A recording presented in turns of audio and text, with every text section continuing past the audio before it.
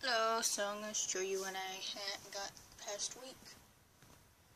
Well, not really much. Most of it's all resellable stuff, so. He's, he's Kyle. Got him $2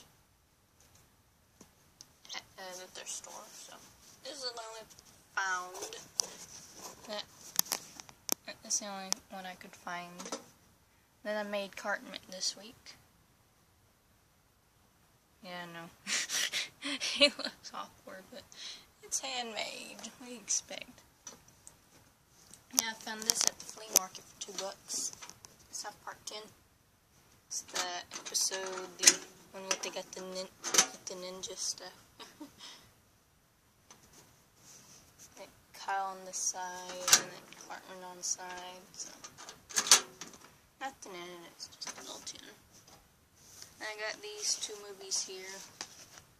Kiki's Delivery Service and My Neighbor Totoro, and I got both of them for like $3, so.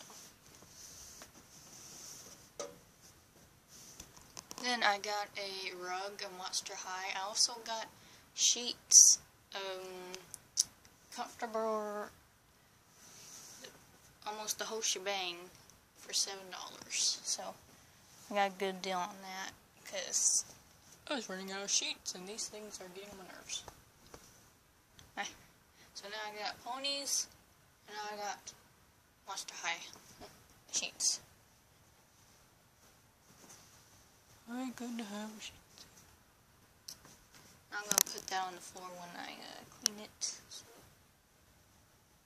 And that's basically all I got. Sadly, it's really small. for me. The dose and the smallness.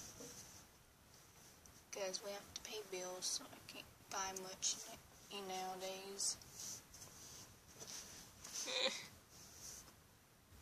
I guess I have to make some more stuffed animals to sell, you know? Yeah, yeah, yeah. I might order something else online, I'm not sure.